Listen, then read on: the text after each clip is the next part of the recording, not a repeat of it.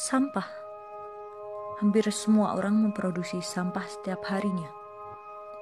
Mulai dari kalangan atas sampai bawah tak luput dari sampah. Plastik, kertas, makanan campur menjadi satu. Ya, benar. Ini merupakan penampakan sampah yang ada di TPSA. Para pengais memaksimalkan sampah yang dapat didaur ulang.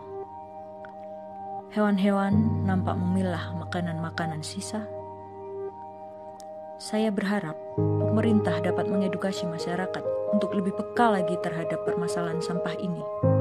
Dengan begitu, bumi, manusia, hewan dapat tersenyum lebar. Jogja ora nyampah, Jogja bersih dari sampah, Jogja nyaman tanpa sampah.